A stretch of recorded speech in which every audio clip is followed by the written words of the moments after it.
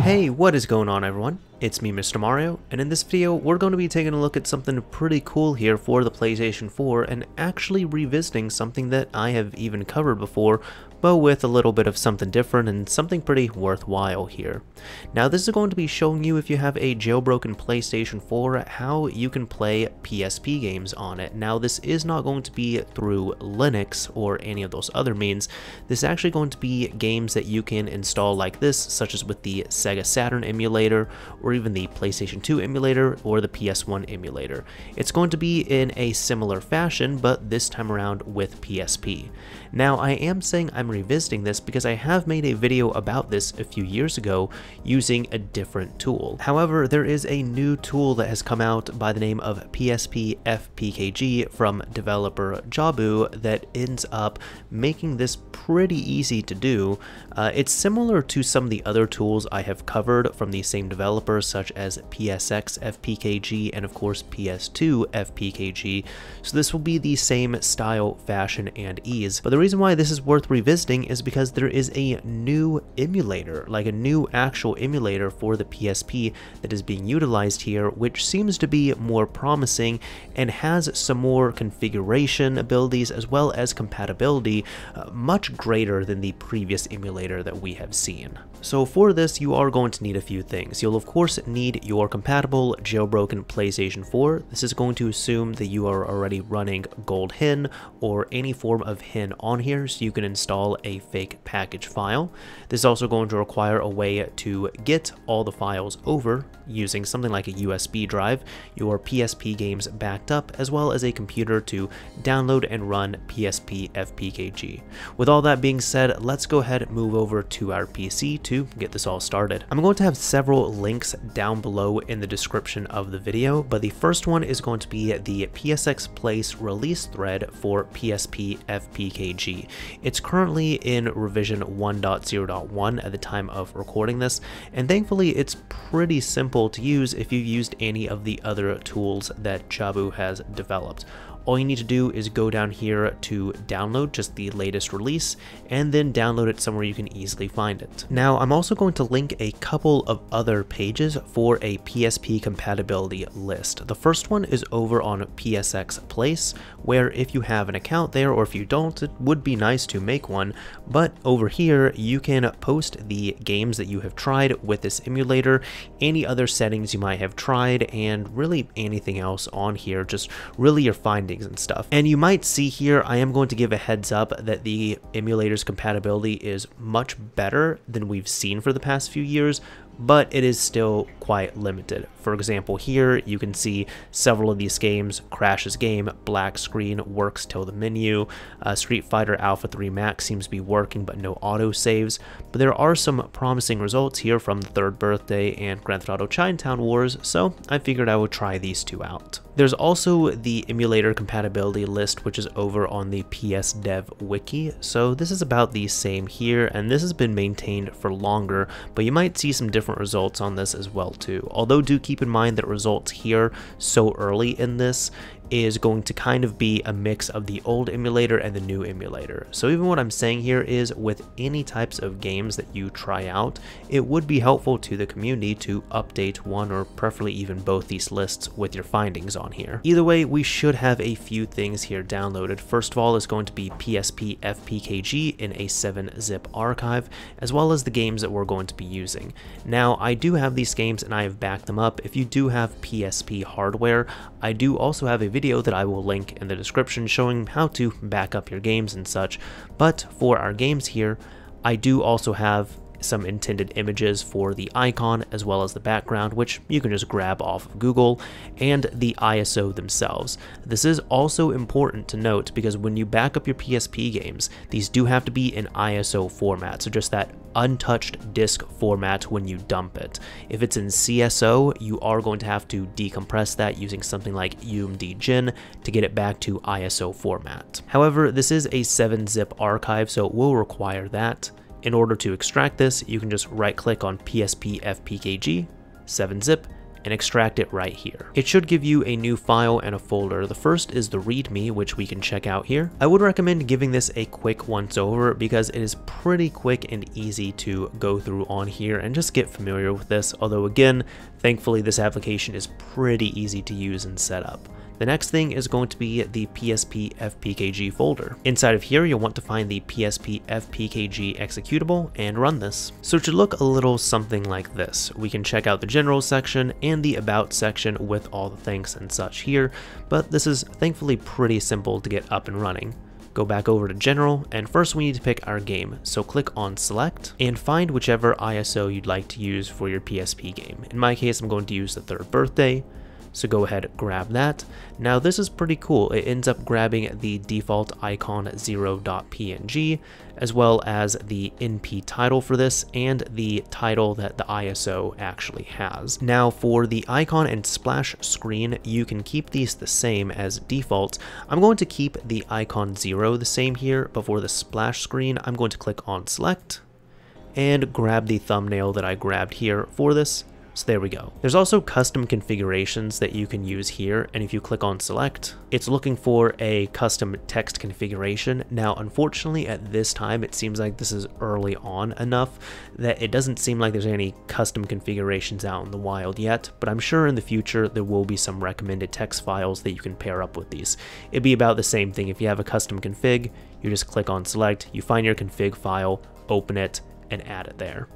Either way, once we have this all set up the way we like it, we can click on Create FPKG. Once you pick somewhere you want to save it, go ahead and wait a bit. It might look like it's frozen, but just let it do its thing. It is working in the background. And there we go. Once it's done, it will say Package Created. Click on OK. And that's about all you need to do here. I'm going to close out of this, grab my third birthday folder, and wherever you save this to, you should have a PKG file just like that. Now I am going to do this one more time with Grand Theft Auto Chinatown Wars, and I'll even change some of the stuff here, so Grand Theft Auto Chinatown Wars, that should be fine. I'm going to grab my own icon, grab my own splash screen, and create a custom FPKG. So there we go, that's been completed as well. Close out of this, and just like before, check this out, we have the original ISO there, and I decided to save it in the same folder, so we have the package that is a little bit compressed here as well too. Now to transfer these over, if you have messed with package files at all on the PlayStation 4, you should be pretty familiar with this, but of course you'll need your USB flash drive that you're using. Make sure it is either exFAT or FAT32 in format. If it has not been formatted that way, you'll just want to back up any data you care about, right click, format, select your file system, allocation size, hit OK, and that's about all there is to it. So for here, we're just going to grab our package files. So I'm going to copy this out, paste it into the root folder, let that copy over, and I'm going to do the same thing for the third birthday. So copy this out and paste it into the root and just let these transfer over. And now with this almost done copied over, there we go. We have both of our files in place. So I'm just going to go back here, right click, safely eject the USB drive and take it over to the PS4. Over at the PlayStation 4, of course, make sure you have already run preferably Gold Hen as that's what most people are going to be using. Then go over to your settings, make sure you have plugged in your USB drive. We can go up to Gold Hen, Package Installer, and here is our package files. So I'm just going to go ahead and install all of them to make it easy enough there, and it will install both games. And here we go, we have the both of them installed, and if we come back over here, check this out. We do have two new games here. We have the third birthday, and of course, Grand Theft Auto Chinatown Wars. Now the next thing you can do to enjoy yourself is really just fire one of these up and play them. As you can see, this is the custom splash screen I put in here. Let's give this a shot. Now it does give us this piece of information here because you do have the left side of this for select and the right side for start. We can go ahead and press start to boot this up. Now as you can see even here this isn't a perfect experience. We do have the first cutscene playing and it is choppy here unfortunately but it does look like the game is working and let's see I'll even skip past that. See we do have the menu system working here so mixing that up but there we go New game. Eh, sure, easy. let's go ahead and try this. So here we're just right at the beginning, but as you can see, the cutscenes do seem to have some issues, but so far this is looking pretty good, and I'm pretty astonished at how good this looks here overall. Now, because this is a new PSP emulator, check this out, there's also some additional features that you can use as well too. So you press the options button on your controller, check this out, it brings this up, and you kind of have this uh, way to scrub back and replay some of the most recent gameplay. So if you want to come right back here to the beginning and rewind, you can say yes and check this out. It rewinds like that. We can also check out a few other options. If we go back over there, we can also create a quick save by hitting the triangle button and it kind of creates a quick save, well I guess save state of sorts on that.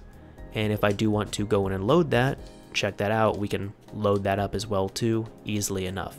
Awesome.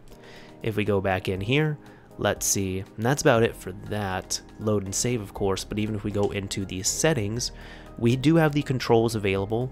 Now we also have video options here, which you can change the aspect ratio. So for example, if we want to change it to square pixels, let's give that a shot. That's not looking the best here in my opinion, so we can change this back of course to, let's see, something else. How about 4.3 for 16.9? We have this as well too, alright.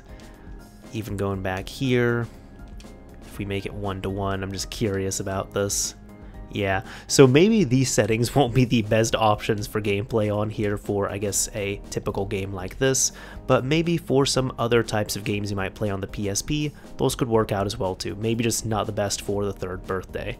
Uh, also, we can go back over to settings, and the last thing here is the visual presets. So we do have the default one, but looks like we also have Retro Classic, which let's give this a shot, and it gives it some, uh, looks like scan lines on here, kind of like you're looking at this on a CRT of sorts.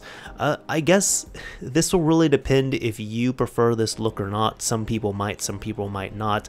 I'm not a fan of it personally, but even if we go back here, we have one more we can check out, which would be the modern look. And let's see on this.